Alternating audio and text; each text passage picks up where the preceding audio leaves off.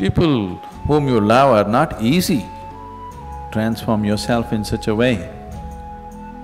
Being in your presence, unknowingly, their uh, cup will turn around. As far as your spiritual process is concerned, anyway you're alone. Namaskaram Sadhguru. I'm in a relationship with a very bitter person who is not interested in spirituality. How can I handle my relationship without losing my way on the spiritual path? If your concern is your spiritual growth only, then if you have a demon for your partner, that's the best thing. But your partner, your husband, wife is not just about spiritual growth, you also want to have a pleasant life in the family. Then you have to choose someone who like, whom you like, but little… there's a, any human being on the planet, there is something that you don't like about them, isn't it so? So you use that part of it for your spiritual growth and the rest of it you enjoy just as life. So if your intention is to have a good family, then some rapport is needed between two people, otherwise it won't work. Especially if you have produced children, then rapport is must, otherwise uh, you'll foul the new life that's come up. If you create a foul atmosphere, you'll foul up the new life that is coming up. Nobody has any right to do that actually, but people are doing it. But no human being has any right, you can mess yourself up as much as you want, that's up to you. But you can't mess up a fresh life that's just coming up.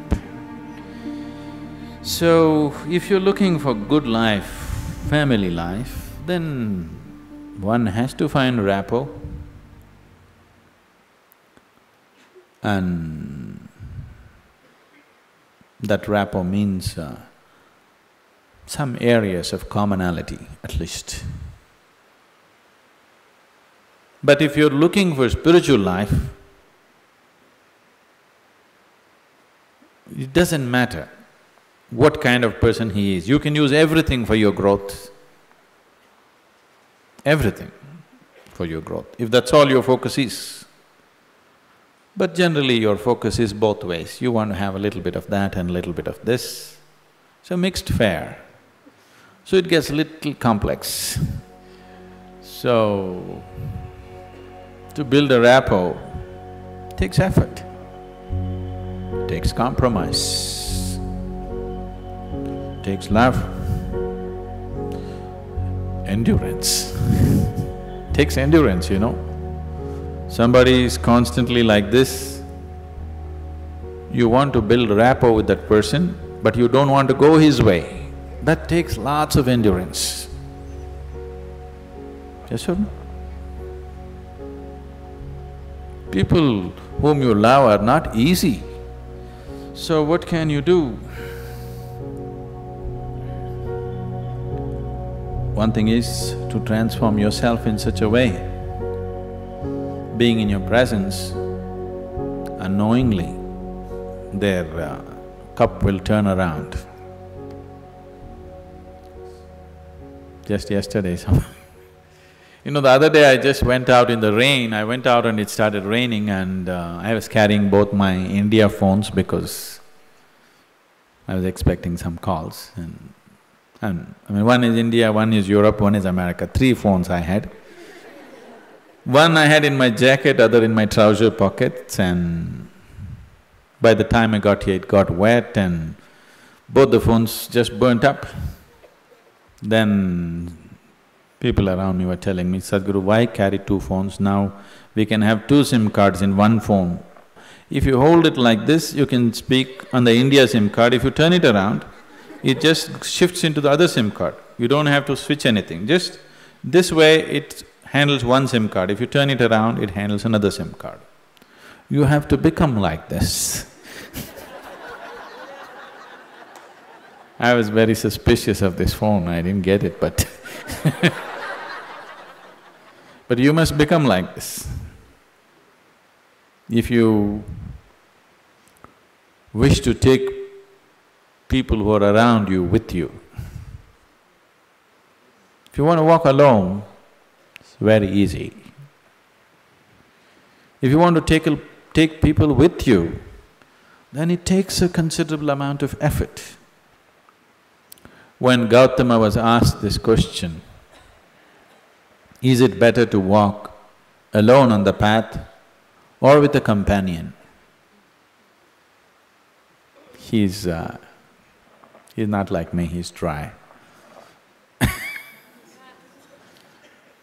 He said, uh, it's better to walk alone than to walk with a fool. He's not saying don't walk with anybody, he's not saying don't have companions, but he said it's better to walk alone than walk with a fool. Because they can drain you, they can take such a lot of energy and time and you don't know, they may be stronger than you and they may take you their way than you taking them your way. There's every possibility, yes? So, I won't say what Gautama said. All I am saying is, it doesn't matter how you walk, as far as your spiritual process is concerned, anyway you're alone. Nobody is with you. It's only the bodily process, the material process of life, which you can share with people. You come alone and you go alone, isn't it? Even if you have a twin brother or a twin sister, you still come alone and go alone, isn't it so? So when it comes to the spirit, anyway, you walk alone. So don't mix that up. So that part of it you handle well.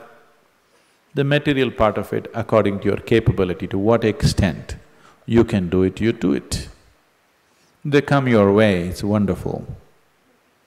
If they don't, it's all right, don't grudge them. It's just that you don't have to go that way. Maybe someday, when the doctor tells you your liver is in a bad state, he may seek divine, you know. Yes. Have you seen people who are walking in the morning? Not everybody, there are certain type of people, these are all over 50, 55 age group people they have become lean and they're walking briskly every day, religiously they are there. These are all people who generally had a cardiac problem. they almost died. Then their doctor told them, either you do this or you're gone. Now their walking is like a religion. Not Sunday morning, every morning. Have you seen those people? Suddenly they transform, they eat properly, they do everything properly, because the fear of life and death has come. So different people need different kinds of impetus. If you're sensible, you learn by just looking. If you're not sensible, you learn by thrashing. Life will thrash you. The material part of your life is never hundred percent proper, never can be, isn't it so? Is there any family which is a perfect family? Is there any relationship which is a perfect relationship? Is there any business which is a perfect business? Is there any career which is a perfect career? There is no such thing, don't seek that. Your life will become wasteful and fanciful if you seek such things. They all happen to the extent you're capable of handling them, that's all. So, you make sure the spiritual part of your life, you handle it one hundred percent properly.